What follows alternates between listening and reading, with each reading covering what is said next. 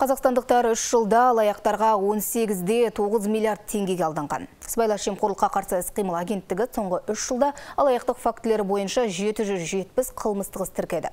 Бұл туралы аталған агенттіктің ресми өкілі Данияр Бегайдаров брифинг барысында мәліметті.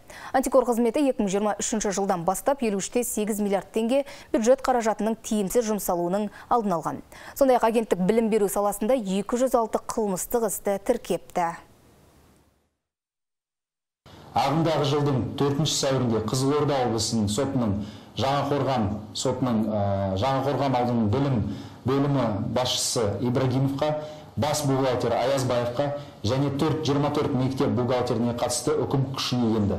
Олар жалпы сомасы 1 миллиард теңгеден аса мөлшерде бюджет қаражатын жымқырғаны үшін кінәлі деп танылды.